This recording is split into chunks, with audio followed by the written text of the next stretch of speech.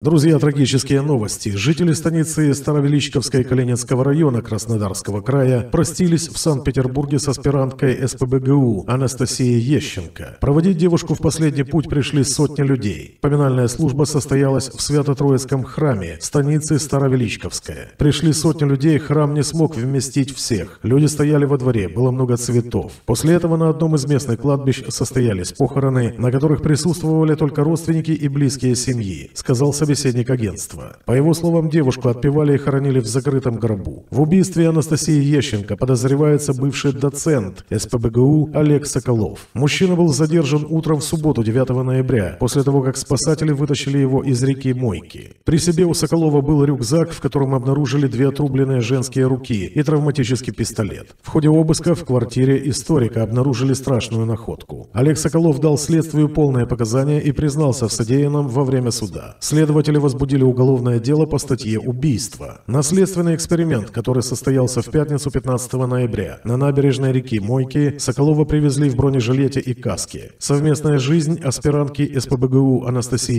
Ещенко с преподавателем Олегом Соколовым не вызывала у ее родителей никаких опасений. По словам отца убитой девушки Олега Ещенко, дочь хорошо отзывалась о своем возлюбленном. «Я как рассуждал, если ей хорошо, то и мне хорошо. Хотя мы разговаривали. Говорили, да, что у этих отношений меня нет будущего, но она любила его», – приводит слова Олега Ещенко, Пятый канал. Ещенко уточнил, что единственным обстоятельством, которое изменилось в последнее время, стала частота звонков дочери домой. Анастасия звонила реже, а разговоры были короче. Анастасия жила скромно, вставала рано, сама себе готовила, пропадала в библиотеке и архиве. И радовалась, когда удавалось уложиться в 8 тысяч рублей в месяц. Евгения Лукьянова опубликовала скриншоты своей переписки с Настей Ещенко. Евгения Лукьянова считает, что Анастасия Ещенко очень очень сильно и очень чисто любила Соколова. Девушка всегда его поддерживала, лечила, когда он болел, защищала, когда обижали. Темой Наполеона она занялась именно из-за него. Саму Настю гораздо больше интересовала история России 20 века, и она чувствовала, что теряет себя в научном плане. Скакала по камням на коне, потому что он сказал, говорит Евгения об участии Насти в реконструкторских шоу.